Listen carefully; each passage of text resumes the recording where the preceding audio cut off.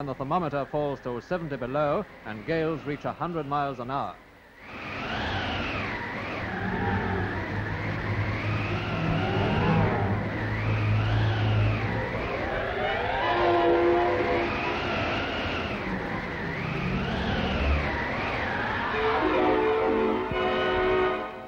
America wishes good luck to the expedition as the flagship Mount Olympus prepares to probe the secrets of the frozen South.